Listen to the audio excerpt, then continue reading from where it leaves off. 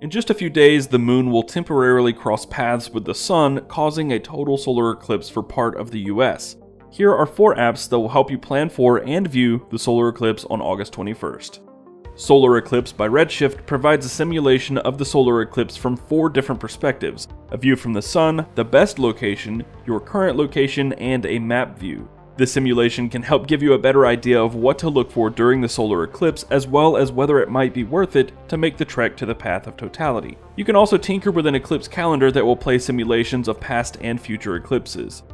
If you're not near the path of totality, you'll still be able to view a partial solar eclipse from your location, but you can also view NASA's live stream of the total eclipse from your phone with the Smithsonian Eclipse 2017 app. This app will tell you the percentage of obscuration of the eclipse from your location, the weather forecast for the afternoon, and it provides an interactive map showing the path of totality. On this interactive map, you can tap around and drop a pin and see the event calendar for the eclipse for that location, as well as some simulations.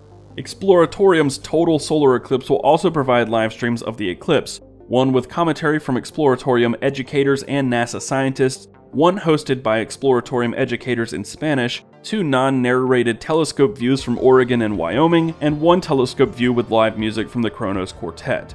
In the Total Solar Eclipse app, you will also find reading and informational videos on eclipses, and it gives you the option to quickly add the eclipse as an event to your calendar. If you plan to be within the path of totality, one of the most helpful apps will be the Solar Eclipse Timer app.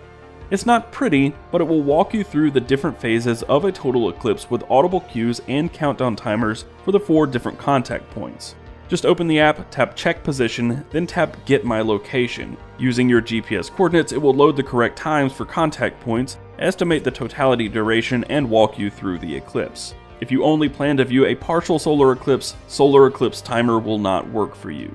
For more tips on viewing the solar eclipse and other how-tos, be sure to check out cnet.com forward slash how to.